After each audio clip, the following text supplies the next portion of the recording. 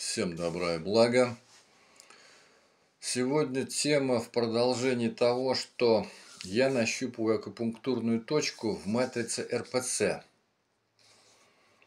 Поскольку РПЦ, она тоже, как бы, она имеет и рисунок времени, ось, и первый окружность архетип, и лидеры, всякие пастыри, архиепископ, там и патриарх Кирилл, и, соответственно, третий круг, где там паства по этому третьему кругу, по их программе, осуществляет какой-то, какой-то, я так предполагаю, сброс энергии.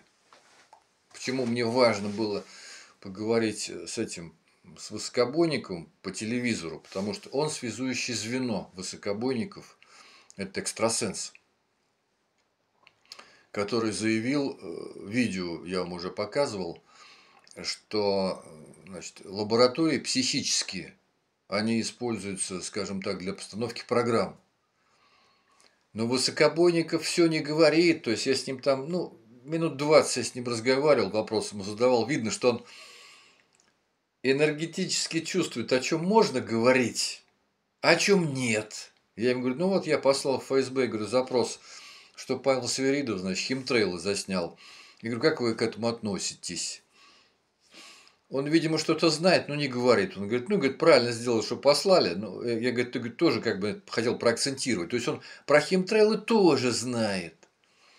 А когда по христианскую церковь его спросил, я говорю, а что же там, говорю, кто же, ну, куда энергетику качают? Он говорит, а наложники. Я говорю, ну и правильно. То есть я тоже так думал, как, ну я предполагал, что может какой-то инфи, чистый инфернал и собирать. Но я думаю, инфернал там есть. Кроме наложников есть инфернал. Так вот, у нас здесь общественники значит, борются с тем, что вырубают леса в экологически чистой зоне. У нас здесь район Ахун, в черте города, экологически чистый район. Вырубают леса и строят коттеджи там. Какие-то там люди из администрации там и так далее. Ну и вот здесь общественник наш Игорь Алексеев, он, значит, два года, и я там и статьи его почитал, повникал, куда там они отправляли, и никак. То есть по закону там не должны строить, но, значит, все там исследователи и так далее, все это отфутболивают его. Ну, и я с ним общаюсь, я задаю вопрос, пишу в местный патриархат, я говорю, а в чем здесь, говорю, промысел-то? Что, как же так, это вроде как не по закону, и вот человек-то борется, а где же тут промысел Божий, а где, говорю, возмездие по этой теме? Как же, говорю, так, а если Бог справедлив, почему он, это же мать природы, это его часть Бога. А здесь как бы и проакцентировал человек, что, значит, и в прокуратуру писал, и там, и сям, и куда даже до Матвиенко там он дошел, и Матвиенко вроде вопрос там какой-то задавала. А дело не сдвигается в справедливом направлении. И он мне пишет, что вот кто-то, кто взывает к возмездию, тот, говорит, к тому, говорит, это и вернется. Я посидел день, подумал, ночь подумал. И приходит мне такая картинка. Помолился Божьей Матери. Вот, приходит такая картинка, что э, священники-то освещают оружие сейчас. Священники РПЦ-то. И солдаты этой водой святой, там, значит, они стоят, он их, значит, святой водой брызгает, и оружие, и технику военную, и так далее. И я ему обратно, значит, пишу, это ответ. Я говорю, как же так? Вот служители РПЦ в многочисленных видео освещают святой водой оружие и на свое, и ракеты, и солдат, и так далее. По сути, они благословляют возмездие. Они же им в напутствии не говорят «возлюби врага и подставь щеку». Также здесь вы мне пишете о слишком явной двойственности.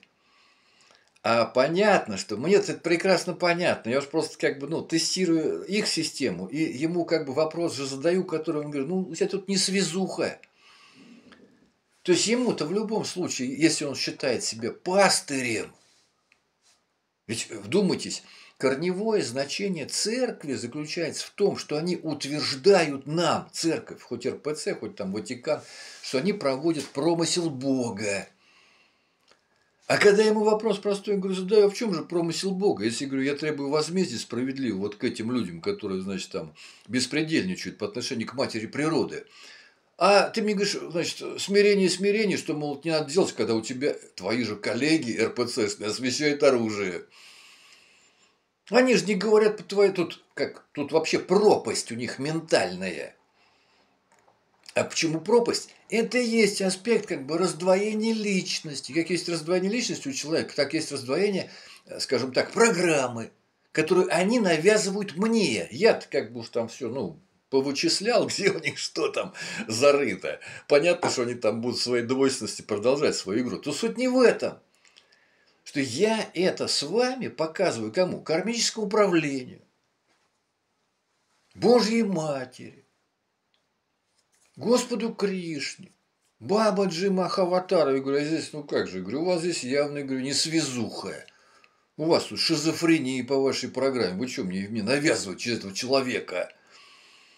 важный момент. Почему? Потому что я уже говорил, в космосе и в кармическом правлении там также действуют, скажем так, космические юридические законы. То есть, если мы идентифицируем этот закон и говорим, что а здесь как же вы искали справедливость, а воздам, у вас принцип а воздам, а здесь явное нарушение, требую сойти сюда представителей кармического управления и архангела, э, значит, и Михаила, и Метатрона, и Мелхиседеков – а Мелкиседеки, они как бы, ну, они поддерживают эталонность как раз этих законодательств космических. Вот здесь планетарной матрицы Мелкиседеки. Вот, поэтому я говорю, у вас здесь двойственность. Или получается, что те, кто освещает водой оружие, это не служители РПЦ, это какие-то сторонние люди – да и в самой сути Бога Азвоздам содержится возмездие.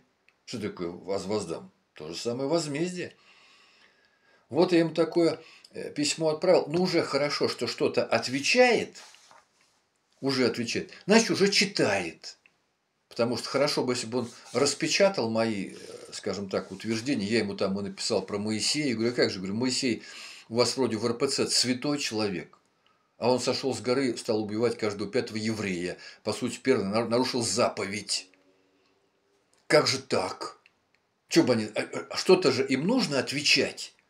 Вот я думаю, вопрос еще и в московский значит, патриархат отправлю для рассмотрения. Может быть, ну, я говорю, есть ли у них там время читать, а то они там все вот в своих там, значит, э, формальных поклонениях религиозных, им там задуматься-то, может, некогда. Что а как же о возмездии, о справедливости, а, а это вообще основополагающие принципы. Но глобально, глобально для себя я так вижу, что вот это для меня книга Максина, где он описывает, что ну вот, понимаете ли, возникло во Вселенной такой дисбаланс – энергетический дисбаланс. И чтобы его заткнуть, эту энергетическую дырку, она может быть, эта дырка там, ну, чисто ментальная. Не то, что там уж какая-то черная дыра. Может, черная дыра там они э, выполняют другую функцию энергетическую. А вот в конструкции ментального тела Вселенной произошел некий сбой. И тогда Творец по версии Максина должен значит, для себя создать здесь биомассу. Через кого? Ну, те же там плеядианцы, сириусианцы там и так далее, которые через данный геном в данной сфере пространства решают как бы так это, это сам э, ментальный вопрос в виде излучений. То есть они как бы э, включают излучения, которые эти же НЛОшники, собирая в христианских церквях, в мусульманском, там где куб, почему они там против часовой стрелки ходят, может, что-то энергетику туда отдают. Против часовой стрелочки что-то отдают куда-то, а там в каком-то плане там висит какой-нибудь там портал НЛОшный или там чисто энергетический, собирает энергию и пошел затыкать дырки или прокачивать акупунктурные точки, как вот, ну, я так вижу, что это прокачивается там точка полынной сигаретой у человека. И там, значит, долгожительство, точка Е36. Они здесь собрали энергетически куда-то потащили там свои измерения, заткнули дырку, там у них там прошел процесс, скажем так, ну, выравнивания ситуации. Отсюда, кстати говоря, в физическом плане и жесткий элемент вампиризма. Вот здесь уже, то есть эта комбинация, она уже здесь достаточно простая для доготировки. Почему там и пейте вино, это кровь там Христа, и ешьте хлеб от его тела. Спрашивается, да, собственно говоря, почему? Почему вы так это связали? Зачем мне пить кровь Христа? А это элемент оферты. Понимаете? То есть, чтобы поставить даже программу, туда, на эту, скажем, на человека, им нужно прописать программу, которую сам бы человек своей, скажем так, волей, волей и индивидуальности воспринял. То есть он сам бы стал изнутри себя излучать эту энергию.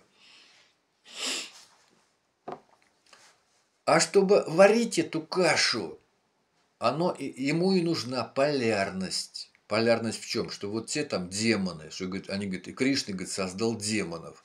Но вот сейчас изучаю Шиурабинда, интегральную йогу, там э, выводит меня на это мать, которая со Шриурабинда она была сейчас, значит, ее вариант космологии. Она говорит, э, пишет там, что сначала первичный источник создал четыре сущности из себя, вывел. Но я так понимаю, что эти сущности это были его же принципы внутри него же, которые он стал рассматривать со стороны э, скажем так, он же построил их демаркацию от себя.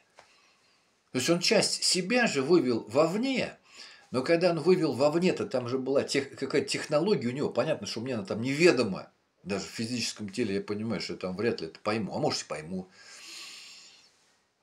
что они, когда были выведены из себя, они обрели принцип зеркальности – вот это важный момент, что э, раз есть зеркало, которое отражает Творца, он и должен, как я так понимаю, какой-то ввести в них во всех принцип зеркала, который бы отразил ему его же, но в его аспекте.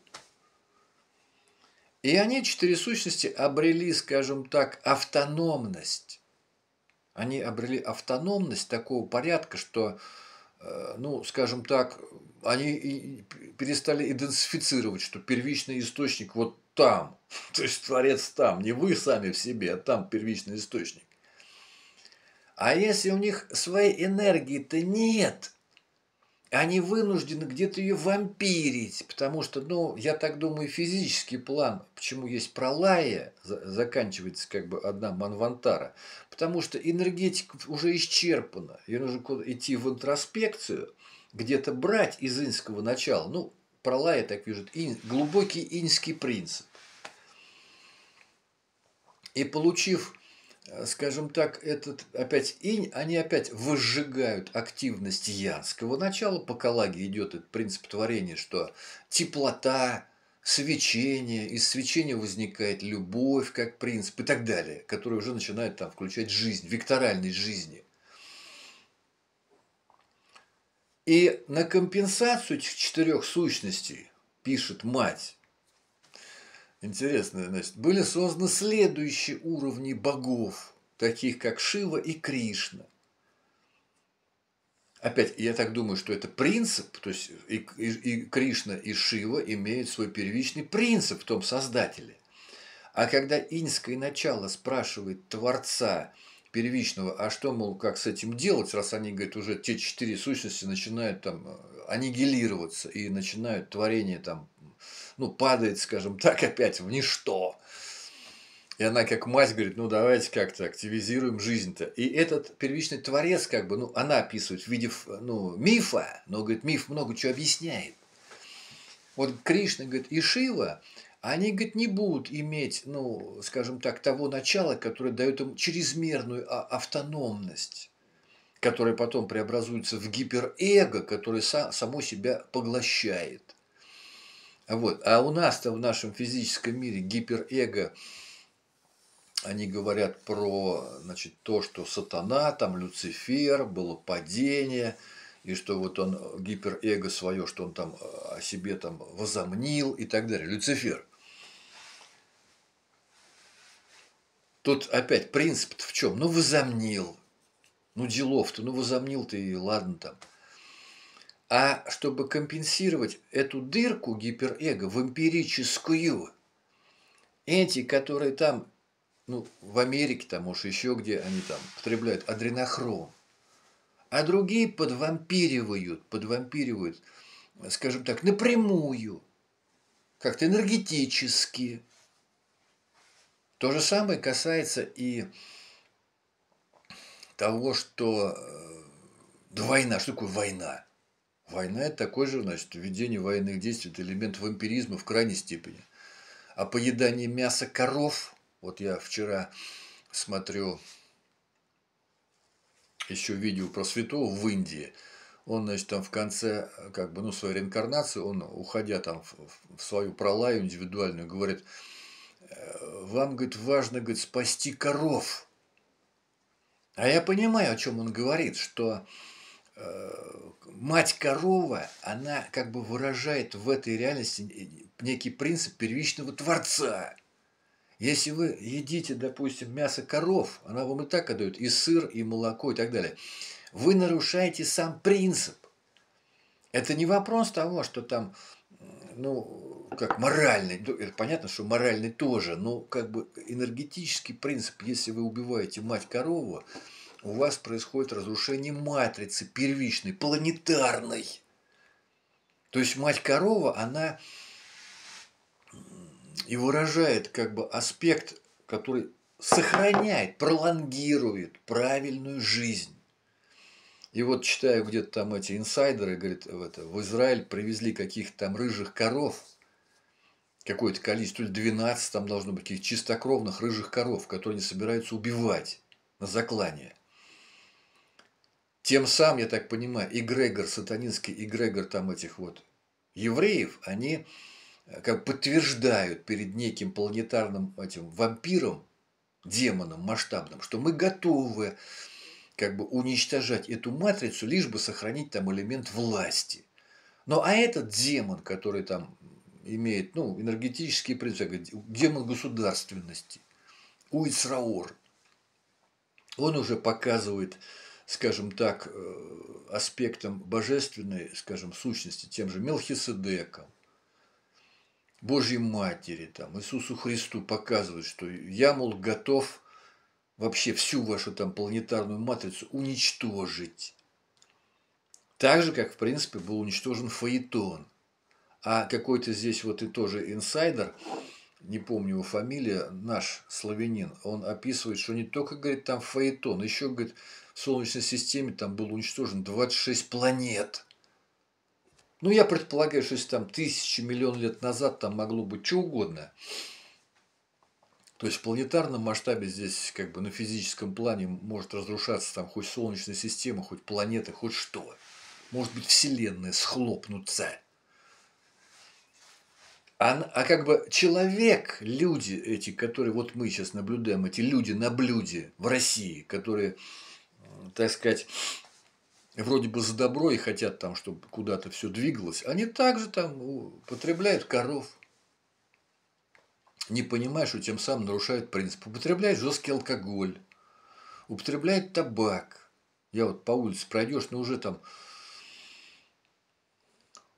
если ветра нет, идешь по центральной улице, дышать нечем. Проходишь там человек, так накурили там 3-5 человек. Вот они дым столбом, ветра нет.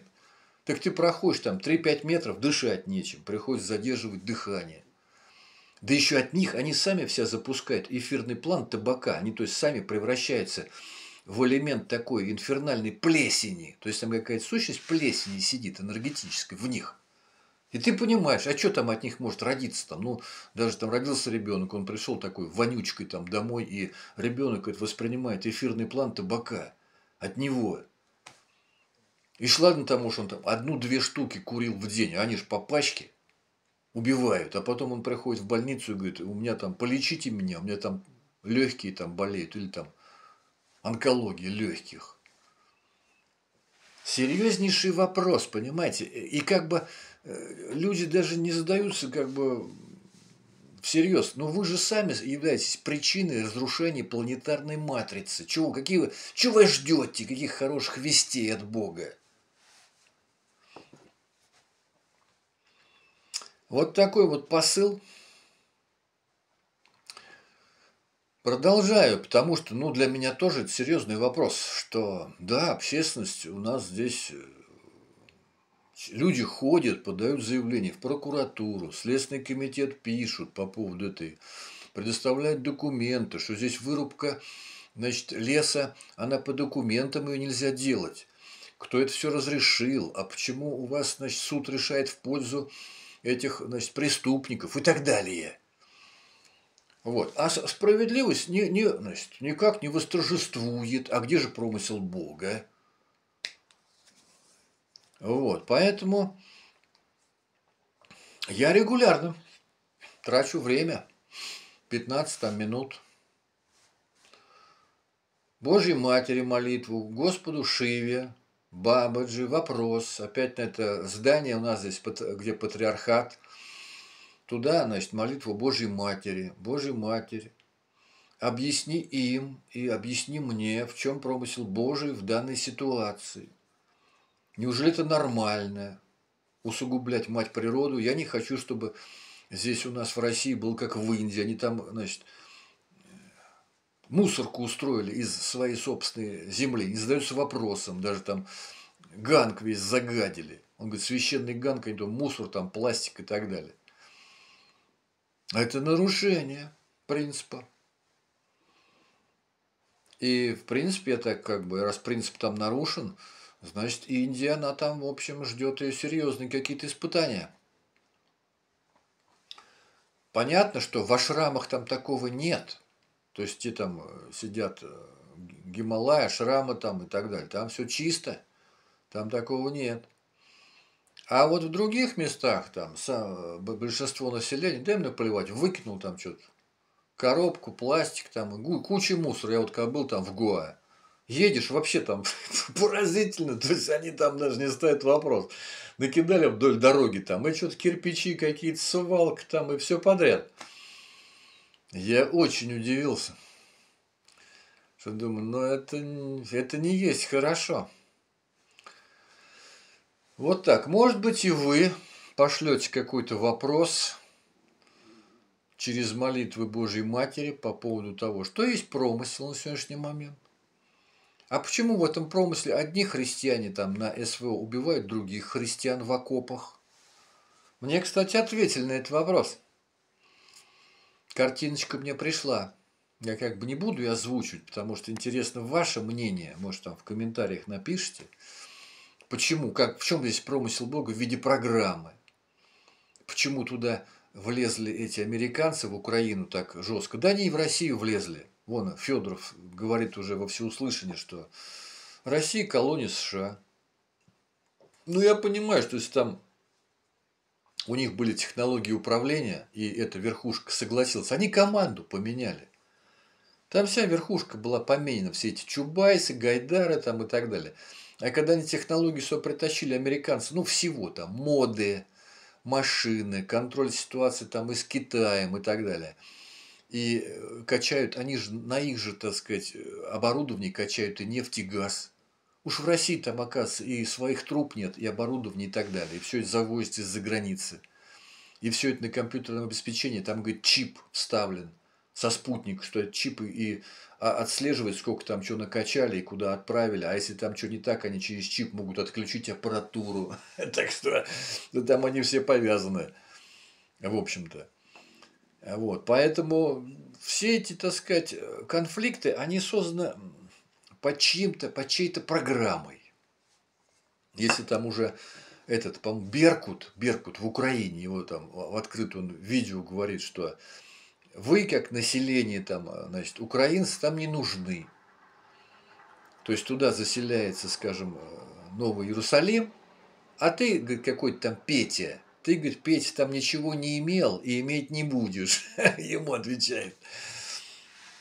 А, в общем, а Петя, что там он ответит? Все правильно. У Пети там не клана ничего, он бегает по третьей окружности. Под лозунгом, значит, если клана нет своего у Пети, то есть я говорю, что это все фантики. Вот, говорит, там социализм, капитализм. Внутри того же капитализма множество клановых группировок, которые делят кусок власти – кусок пирога. И даже между собой, так сказать, если там кто-то что-то перебегает дорогу, они там жестко, так сказать, между собой могут и схлестнуться. И вот по поводу схлестнуться, та ситуация, которая сейчас в этой британской семье, разрушение ее эгрегора, как раз вот это очень показательно, что даже на инфернальном плане эгрегор в Британии, он, значит, один какой-то, скажем, Уицраур борется за место в инфернальном плане с другим Уицрауром. Вот так. Да, в общем-то, и в Китае тоже там то же самое. И этот, я уже говорил про Китай, что если э, чрезмерную экспансию на Россию, то там джокерская программа – это стихийные бедствия. Левашов, кстати, он об этом знал. Он мог и эти вот циклоны останавливать в ментальном плане, там нащупывал, видимо, там. Я тоже это пробовал делать. Но Левашов как бы имел код доступа более конкретный. Так вот, если туда на Китай пошли какие-то катаклизмы, им уже нет возможности куда-то там вылезать свою экспансию в других местах. А славяне, которые проживают в Сибири, они этим не задаются вопросом. То есть там, ну, я так вижу, что там не особо шаманы активны, чтобы этот вопрос ставить. Это шаман с тележкой, который пошел на Москву. Ну, я считаю, что это какая-то программа такая, отвлекающая. Что да, там герой, да, там с тележкой, результат пшик. Так же, как Атраковский. Смотришь там, да, ВКонтакте Атраковский пишет все правильно, да-да, там и, значит, эти таджики, иммигранты там и так далее, плохие, что вот они сделали то все. Я про себя, ну давай ход ты делай, ты же человек там военный. У тебя есть там и матрица военных, которые там отставников с тобой. Делайте какой-нибудь ход правильный в юридическом поле. Ты только, он описывает только, что там было. А ты делай ход, вектор. У него этого нет пока. Ну, пока, может быть, потом что-то появится. На сегодня все. Сценарий-то, в общем-то, интересный. Вопрос, что на шахматной доске ход, мало кто реально делает ходы. Ходов мало, маловато. Хотелось бы побольше. Потому что даже если РПЦ бы стали озвучивать какой-то ну, правильный, правильный, скажем так, промысел, какой должен быть. Я даже предполагаю, что это первичный творец, он и дал свободу выбора даже своему творению, скажем так, здесь, на земле, что от народа-то по третьей статье Конституции должен идти вектор, что мы требуем. А вот здесь мы, значит, протест, а здесь мы опять требуем. Народ, 100 человек, тысяча, миллион, мы требуем. Даже не надо с бумажками выходить. Написали там в 10 газет там и на сайт президента, и там позвонили, допустим, в партию КПРФ в Москву. Очень действенно, кстати. Я вот значит, позвонил этому зам, зам депутата в Москве. Он мне там все рассказал. Говорит, да, мы, говорит, протест написали по поводу золота 320 тонн в Британию. Мы сделали запрос написали протест. Они, говорит, нас вежливо, так сказать, отфутболили. Он что-то по-другому сказал. Ну, суть такая, что намекнули, что туда не лезьте. Ну, а я прекрасно понимаю, что, значит, у тех, кто там не лезть сказал, у них есть, значит, доступ на оружие и принцип, значит, лицензии на убийство. А у КПРФ этого нет. Здесь все просто. Я говорю, конечно, наличие клана, лицензия на убийство. Что там было, когда эти привезли-то вагон, опломбированный вагон там. Там не только Ленин с командой приехал, там еще оружие притащили в Кронштадт. Что-то там, значит, кто-то там занимался, там даже, ну, где документы я читал. Завезли оружие в Кронштадт, и там даже протащили какой-то это вот, э, то ли там у них кокс был, то ли там марафет. Вот, и дали матросам. И включили эту программу, что там, вооруженного сопротивления. Под это дело, значит, э, пошло это нарастание, нарастание протестных акций. Вот это все прописанная программа. Если это славяне не изучают, а я говорю, что даже если им это все объяснять, они употребляют водку и табак, мозги загадили. У них, то есть, мозги должны нейроны осуществлять определенные связи, которые как бы дают им общее понимание процесса. Если этого нет, даже объяснять бесполезно, это пустая трата времени. Но процесс продолжается. Я говорю, я не теряю надежду, не только не теряю, я моделирую ее, что я как бы моделирую надежду, что какой-то хороший ход шахматный будет из всего из этого. И мы это увидим, что народ сделает правильный шахматный ход. Джаом, продвигаемся дальше.